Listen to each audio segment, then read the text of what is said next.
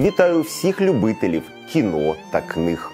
Сьогодні я розповім про одну з головних книг ХХ століття книгу, яка винесла вирок тоталітарним режимам усіх мастей, і яку просто необхідно читати сьогодні. Справжнє щеплення від зла. Щоденник Анни Франк. Анна Франк не замислювалася про світову славу, коли робила перший запис в альбомі для автографів. Сподіваюся, що я все зможу довірити тобі, як нікому досі не довіряла.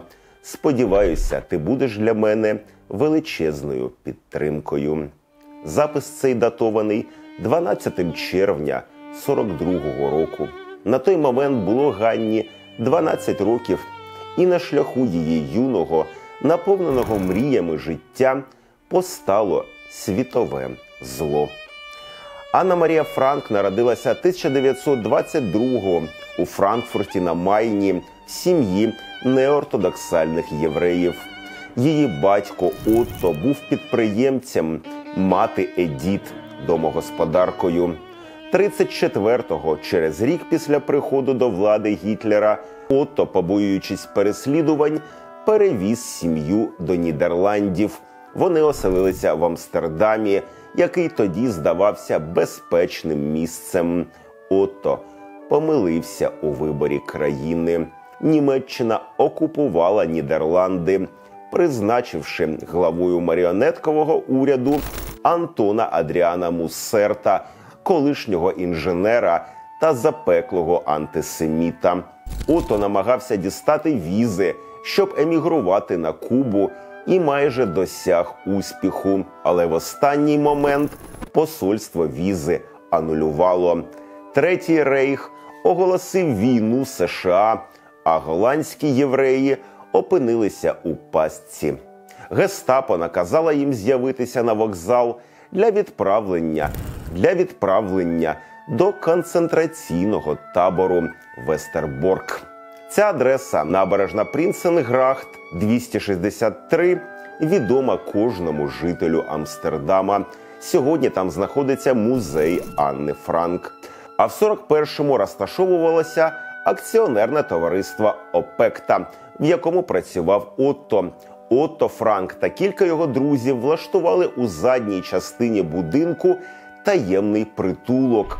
Вони поділили будинок на дві частини: відкриту та приховану.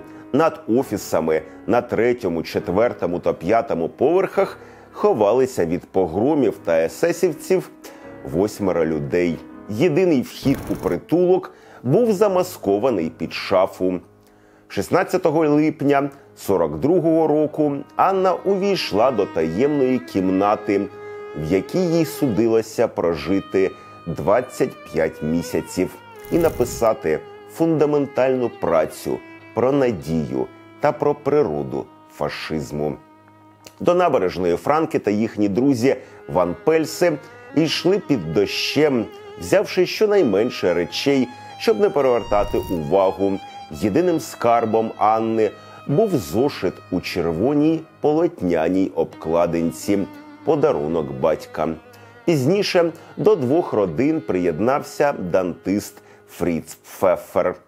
Анна писала нідерландською, адресуючи листи вигаданій подрузі на ім'я Кітті.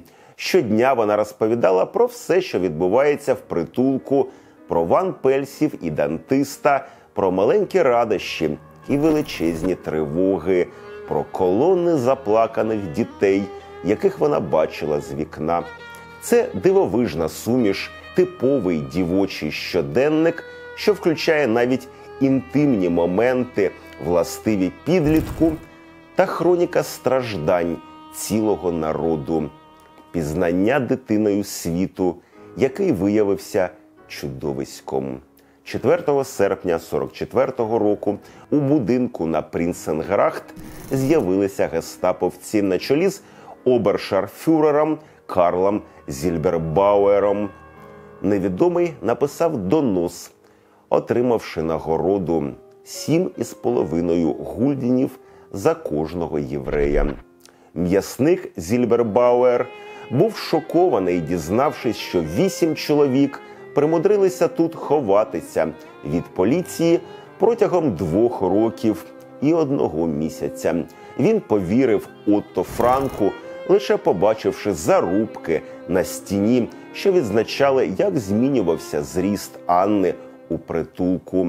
Франк Іван Пельси та доктор Фефер були депортовані до Вестерборка, де керівництво табору виділило їм максимально мізерну пайку і засудило до найважчих і найбрудніших робіт.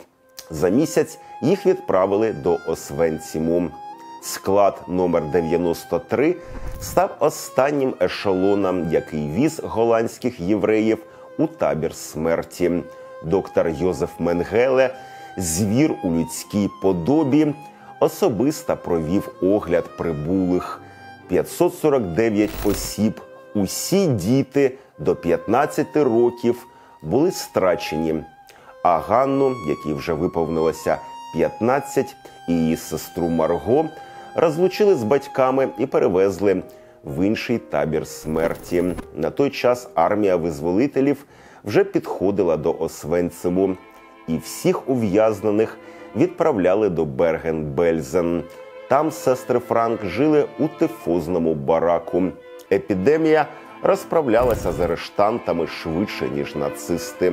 У лютому 45-го померла Марго Франк, впала з ліжка і не змогла підвестися. За кілька днів не стало Анни. Її знайшли біля бараку та кинули у загальну могилу. За два місяці англійці звільнили Берген-Бельзен, а потім і Нідерланди. Голландського фюрера Антона Мусерта розстріляли за державну зраду. Його кривавий пес Карл Зільбербауер, який заарештував Франків, спокійно дожив до 72-го року. Працював у кримінальній поліції ФРН і спокійно розповідав журналістам про затримання Анни. Я купив її книжку, говорив колишній обершарфюрер. Погортав, щоб дізнатися, чи вона написала про мене. Отто Франк був єдиним мешканцем притулку, що вижив.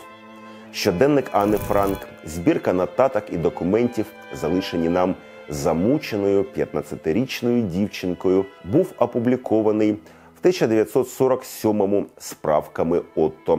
Чернетку зуміла врятувати колега тата Анни.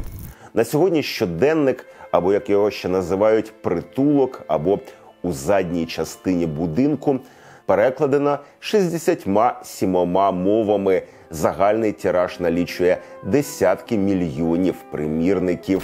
Характерно, що навіть після смерті з Анною намагалися боротися фашисти. Ті, хто заперечував Голокост, заперечували і справжність щоденника. Тотальна експертиза, проведена 78-го, довела, що записи справді зроблені Анною Франк. Про Анну знято півсотні фільмів, кадри з деяких картин ми використовували у цьому випуску. Першим був володар Оскара у трьох категоріях: щоденник Анни Франк, чорно-біле полотно 59-го року з чудовою грою Мілі Перкінс. Є телефільм 67-го року з Максом фон Сюдофом і телефільм 80-го з Максиміліаном Шелом. Драми зняті в НДР, Чехії, Нідерландах, Іспанії, Японії, аніме та серіали. Удостоєний Оскара документальний проект, згадуючи Анну Франк. Бен Кінгслі зіграв Отто Франка у чудовому міні-серіалі 2001 року. А нещодавно на екрани вийшов чудовий повнометражний анімаційний фільм Де Анна Франк. І я всім нашим глядачам його гаряче рекомендую. Фільм не є дослівним переказом біографії Анни. Це цілком оригінальний сюжет. І головна його героїня не Анна Франк, а Кітті, вигадана дівчинка, до якої Анна зверталася у записах. У наші дні чорнила щоденника оживає в музеї і перетворюється на ту саму Кітті. Вона не розуміє, де знаходиться, і намагається знайти свою подругу Анну. паралельно викрадає безцінний щоденник, тікає від поліції, заводить дружбу з емігрантом злодюшкою і, взагалі, намагається пристосуватися до життя в сучасному Амстердамі. Фентезі поєднується з реальністю, де Анна Франк напрочуд душевний, зворушливий та дуже тонкий фільм. Він пов'язує трагічні події минулого з актуальними моментами сьогодення, змушує захопитися і посумувати, але після себе залишає не трагічний, а найсвітліший і приємніший після смак. А ще це ідеальний спосіб розповісти дітям про трагедію Голокосту, найкращий анімаційний проект, який я дивився останнім часом. На честь Анни Франк названо вулиці та школи, лікарні та небесні об'єкти. Її маленькому шедевру присвячують опери та спектаклі. Письменник Ілля Еренбург сказав: 6 мільйонів закатованих євреїв говорять голосом однієї звичайної дівчинки. Щоденник Анни Франк найбільша пам'ятка надії і юності і скарб людства.